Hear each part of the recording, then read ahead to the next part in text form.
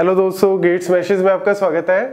इस वीडियो में हम डिस्कस करने जा रहे हैं कॉन्कुरेंसी कंट्रोल प्रोटोकॉल्स के बारे में। और कॉन्कुरेंसी कंट्रोल प्रोटोकॉल्स का बेसिक जो एम है, वो क्या होता है? सीरियलाइजेबिलिटी अचीव करना एंड रिकवरेबिलिटी अचीव करना। और सीरियलाइजेबिलिटी क्या होता है और रिकवरेबिलिटी क्या होता है, ये हम ऑलरेडी डिस्कस कर चुके हैं। कॉन्फ्लिक्ट सीरियलाइजेबिलिटी व्यू सीरियलाइजेबिलिटी और उनके अंदर हमने डिस्कस किया था, हम कैसे चेक करते हैं कि कौन सा शेड्यूल सीरियलाइजेबल है या नहीं है। लेकिन कॉन्कुरेंसी कंट्रोल प्रोटोकॉल्स का जो एम है, वो होता है चेक नहीं, वो होता है कि कैसे उनको बनाएँ सीरियलाइजेबल कैसे बनाएँ, या उनको रिकवरेबल कैसे बनाएँ। शेड्यूल्स कॉन्कुरेंट है, लेकिन उनको रिकवरेबल या सीरियलाइजेबल कैसे बनाया जाए, वो एक्चुअल में कॉन्कुरेंसी कंट्रोल प्रोटोकॉल्स के अंडर आता है। और इसको हम कैसे अचीव करते हैं? By using the locking protocols हमारे पास वेरियस लॉकिंग प्रोटोकॉल्स हैं। सिंपल लॉकिंग प्रोटोकॉल है, जिसके अंदर आता है shared and exclusive locking protocol 2pl है रिग्रेस 2pl है स्ट्रिक्ट 2pl है time stamp protocol there are various protocols लेकिन इनमें से जो shared exclusive protocol and time stamp सबसे ज़्यादा इंपॉर्टेंट है। तो गाइज़ फटाफट से वीडियो को लाइक कर दें चैनल को सब्सक्राइब करें अगर अभी तक आपने नहीं किया and please press the bell button ताकि आपको सारी लेटेस्ट नोटिफिकेशन मिलती रहे। स्टार्ट करते हैं यहाँ पे शेयर्ड एक्सक्लूसिव लॉकिंग के बारे में। बिल्कुल बेसिक है। सबसे पहला जो लॉकिंग प्रोटोकॉल है और जिसको हम कह सकते हैं, सबसे सिंपल लॉकिंग प्रोटोकॉल है, वो है शेयर्ड एक्सक्लूसिव लॉकिंग और यहाँ पे अगर हम बात करें, दो टाइप के लॉक हम यूज़ कर रहे हैं। Shared lock exclusive lock shared lock हम कब यूज़ करते हैं? If the transaction lock the data item in the shared mode then it is allowed to read only और अगर एक्सक्लूसिव लॉक में डेटा आइटम को मोड को अगर हमने लॉक किया है तो रीड एंड राइट बोथ कर सकता है। मतलब क्या? लेट से ट्रांजेक्शन है टी वन और ट्रांजेक्शन ने करना है लेट से रीड ऑन ए ए को क्या करना है? सिर्फ़ रीड करना है। तो हम क्या करेंगे? शेयर्ड लॉक ऑन ए ले लेंगे। अब इस केस में एक्सक्लूसिव लेने का कोई बेनिफिट ही नहीं है। क्यों? अगर सिर्फ़ रीड करना है तो हम शेयर्ड मोड से ही काम अपना चला सकते हैं। और जब इसका काम खत्म हो जाए, तब हम क्या कर देंगे? इसको अनलॉक कर देंगे। तो एस मतलब शेयर्ड यू का मतलब अनलॉक ए मतलब किस डेटा आइटम के ऊपर आप ले रहे हो? ए है बी है सी है, कोई भी आप उठा सकते हो। ऐसी अगर हम बात करें let's say transaction want to do read a write a both अगर ट्रांजेक्शन ने रीड राइट दोनों करना है, और इस केस में अगर मैं कहूँ कि शेयर्ड लॉक लेना है तो वो लग ही नहीं सकता। इस केस में कौन सा लगेगा? एक्सक्लूसिव लॉक ऑन ए लगेगा। एक्सक्लूसिव लॉक के केस में हम क्या कर सकते हैं? रीड एंड राइट बोथ कर सकते हैं और शेयर्ड लॉक के केस में हम क्या करेंगे?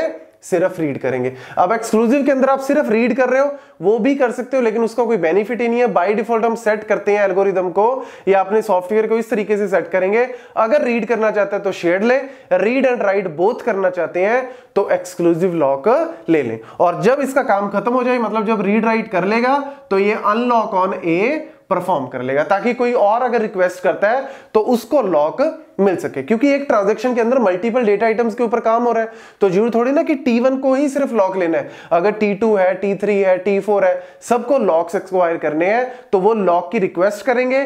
तो जो कॉन्कुरेंसी कंट्रोल कंपोनेंट है, वो चेक करेगा। वो क्या चेक करेगा? कंपेटेबिलिटी टेबल चेक करेगा। और ये कंपेटेबिलिटी टेबल यहाँ पे इंपॉर्टेंट है। इसके ऊपर कई बार क्वेश्चन आ जाता है। कंपेटेबिलिटी टेबल में हम सिंपल सा फंडा है। एक तरफ़ हम कह रहे हैं ग्रांट और एक तरफ़ हम कह रहे हैं रिक्वेस्ट जैसा कि हमें पता है कि दो ही लॉक है शेयर्ड एक्सक्लूसिव तो कितने केस बनेंगे? चार केस बनेंगे। Shared shared shared exclusive exclusive shared exclusive exclusive तो वही हम यहाँ पे कर रहे हैं। लेट से ग्रांट का मतलब है, अगर इस तरफ़ ग्रांट है और इस तरफ़ रिक्वेस्ट है तो लेट से ऑलरेडी हमने शेयर्ड लॉक को ग्रांट किया हुआ है। मतलब कॉन्कुरेंसी कंट्रोल कंपोनेंट ने shared lock on A A की डेटा आइटम पे बात कर रहा हूँ। मैं ए बी सी अलग नहीं बात कर रहा। लेट से हम सिर्फ़ ए डेटा कंपोनेंट की ही बात कर रहे हैं, सिर्फ़ ए की। तो अगर मैंने शेयर्ड लॉक ऑन ए दिया हुआ है, और अगर कोई और करता है कि मुझे भी शेयर लॉक ऑन ए चाहिए मतलब सेम डेटा आइटम पे तो क्या हम रिक्वेस्ट को अलाउ करेंगे?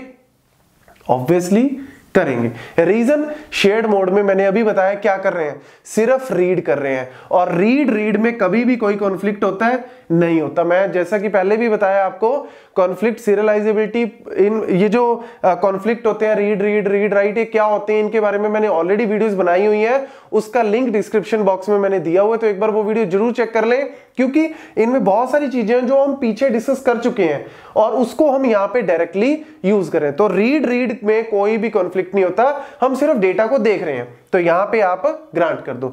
लेट से अगर हमने शेयर्ड लॉक ऑलरेडी ग्रांट किया हुआ है और रिक्वेस्ट आती है एक्सक्लूसिव लॉक की मतलब ए के ऊपर एक्सक्लूसिव लॉक चाहिए तो क्या हम ग्रांट करेंगे? नहीं करेंगे। हम इसको क्या करेंगे? नो कर देंगे, आप कह सकते हो, क्योंकि मैंने यहाँ पे क्रॉस इसके लिए किया हुआ है तो मैं यहाँ पे यस कर देता हूँ, यहाँ पे मैं नो लिख देता हूँ। नो का मतलब है कि हम उसको ग्रांट नहीं करेंगे। रीजन क्योंकि अगर एक ट्रांजैक्शन ने शेयर लॉक लिया हुआ है मतलब लेट से वो अगर वो आर ऑफ़ ए कर रहा है रीड ऑन ए कर रहा है, और दूसरी ट्रांजैक्शन कह रही है, मुझे एक्सक्लूसिव लॉक चाहिए। यानी वो क्या करना चाहता है? रीड ए राइट ए और अगर हम अलाउ कर देंगे तो यानी यहाँ पे फ्यूचर में जाके read A write A conflict हो सकता है तो उसको बचाने के लिए हम क्या करेंगे? नो तो नेक्स्ट आता है ग्रांट अगर हमने ऑलरेडी एक्सक्लूसिव लॉक ग्रांट किया हुआ है ऑलरेडी हमने ग्रांट किया है एक्सक्लूसिव लॉक ऑन ए और अगर कोई आके कहता है, मुझे शेयर लॉक चाहिए तो देंगे? नहीं. सेम राइट रीड मतलब हम रीड राइट ऑलरेडी कर रहे हैं, कोई एक ट्रांजेक्शन ऑलरेडी कर रही है, और दूसरी कहती है, मुझे रीड करना है. तो वही राइट रीड प्रॉब्लम तो हमने अलाउ नहीं करना और फोर्थ केस में भी हमने अलाउ नहीं करना राइट राइट प्रॉब्लम एक ऑलरेडी रीड राइट कर रही है, दूसरी कहती है कि मुझे सेम डेटा आइटम पे रीड राइट परफॉर्म करना है। तो अगर वो अलाउ कर देंगे अगेन इनकंसिस्टेंसी की प्रॉब्लम आ सकती है तो उसको बचाने के लिए हम क्या करेंगे? No no. तो बेसिकली जो हमारा शेयर्ड और एक्सक्लूसिव लॉकिंग का प्रोटोकॉल है, इसका मेन पर्पस क्या हम सीरियलाइजेबिलिटी को अचीव करने की कोशिश कर रहे हैं।